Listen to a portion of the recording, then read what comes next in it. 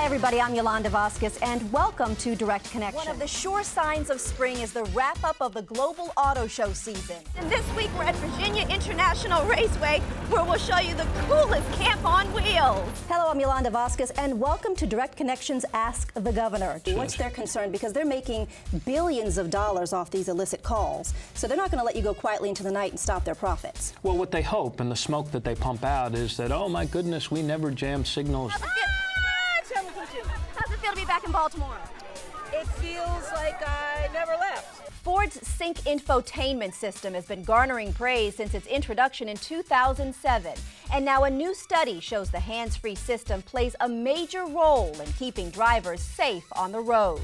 There's no doubt that hydrogen fuel cell power is here and here to stay, but issues involving cost, durability, and infrastructure make this emerging technology a bit more difficult to implement on a broader scale. You probably have many questions about healthcare reform, so we're going to try and answer some of them tonight. Right now, there's a Washington Post poll that says Americans are pretty much divided over the healthcare reform mm -hmm. bill. 46% say they support changes in the new law, 50% say they're unopposed. What are your initial thoughts to the healthcare reform bill, and what does it mean for most Americans? I'm actually talking about the kind you spin. That's right. We've got DJ Gary Gebler over here on the wheels of steel. You working it out? I sure am. That's what I'm talking about. Based on a wide variety of factors. How they drive, how much they drive, and when they drive.